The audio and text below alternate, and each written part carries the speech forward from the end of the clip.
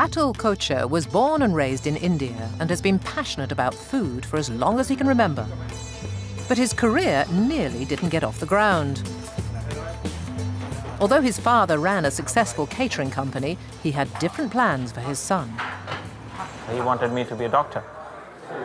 But just to keep him happy, I went to medical school for three months and then came back saying that, no, I don't want to deal with dead bodies, I'm happy cooking. After training and working as a chef in India for five years, Atul moved to London in 1994 to open the Tamarind restaurant. British people eat more Indian food than any other food. It is very important thread of British cultural social fabric, I would say. It's, it's part of British food, and British had this 200 odd years of association with India. Atul's unique fusion of classical and modern Indian cuisine soon won a loyal following. And just seven years later, he became the first Indian chef ever to be awarded a coveted Michelin star. The first thing came to my mind was uh, fantastic, you know, we have arrived. Finally, people have recognized us. And I thought it could only happen in British gastronomy.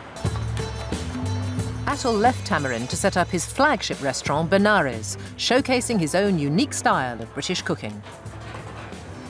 I call myself a British chef. I never call myself an Indian chef. I cook with British, uh, British food with Indian influence. That's what I do. So he's in no doubt that he qualifies for Great British Menu, and in particular as a chef for the South East. I truly represent London and South East, that's for sure, because if it is, Indian food is part of any other cuisine or culture outside India, it's London and UK only. Atul's very clear about what his cooking represents, but Gary is equally clear that he disagrees. I think Indian food is a British way of eating that doesn't make it British cuisine.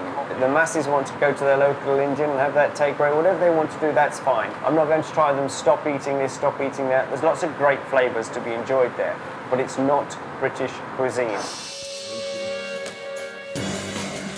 So each chef champions a very different style of British cuisine. And over the next five days, their recipes will be put to the test as they battle it out for a place in the national final.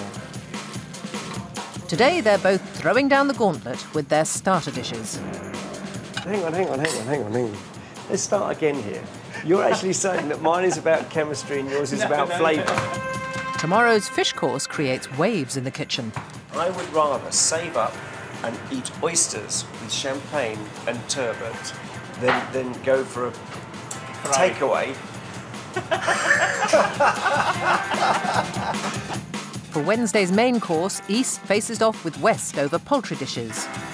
One thing I didn't tell you at the beginning of this competition, I am a bad loser. And by Thursday, the only sweetness left in the kitchen is in the puddings. Are you going to make any changes to uh, any of your recipes tomorrow?